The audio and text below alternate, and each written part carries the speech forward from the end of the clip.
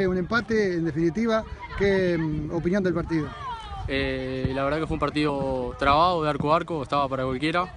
Eh, después nos echaron a dos cada uno con nueve, un partido que estaba abierto para cualquier cuadro, pero por suerte lo pudimos aguantar un empate. Sirve para seguir sumando y, y escaparse de la, de la tabla de abajo. Sí, sí, sirve, sirve, sí, sirve para seguir sumando, disculpa. Eh, hoy me dijiste que perdió Tabaré y no, por lo menos nos alejamos un poco y nos quedan dos finales ahora claves. Estas dos finales que vienen hay que, hay que volver a rescatar puntos. Sí, sí, hay que.